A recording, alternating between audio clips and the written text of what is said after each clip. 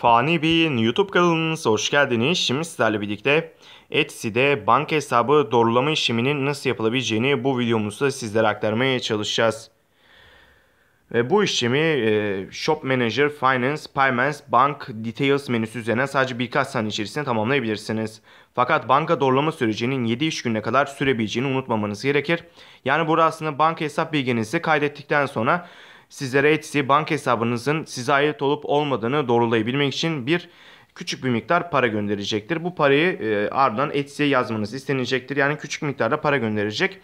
Bu para miktarını Etsy'deki banka hesap bölümüne yazıyorsunuz. Tekrar bu banka hesap bölümüne bunu yazdığınızda sizden e, hesabınızın size ait olup olmadığını doğrulayacak ve artık bu banka hesabını Etsy'deki e, işte siparişlerinizde, alışverişlerinizde ya da satışlarınızda kullanabileceksiniz. Videomuz bu kadardı. Umarım videomuzu beğenmişsinizdir. Video beğendiyseniz aşağıdan beğen butonuna kılmayı unutmayın. Kanalımıza abone değilseniz lütfen abone olun. Bir sonraki videomuzda görüşmek üzere. Hoşçakalın. Kendinize iyi bakın.